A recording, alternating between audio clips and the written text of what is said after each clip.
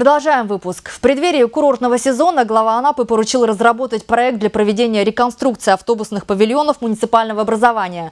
В настоящее время несколько уже полностью отремонтировано.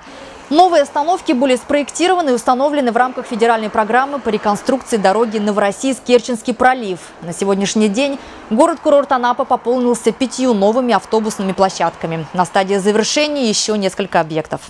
Две остановки на хуторе Утаж, одна остановка в поселке Воскресенском, одна остановка э, в хуторе э, Усатого Балка, одна остановка в районе поворота к аэропорту и в районе Красного Кургана. Также на краевой автомобильной дороге Крым-Жигинка был заменен павильон по региональной программе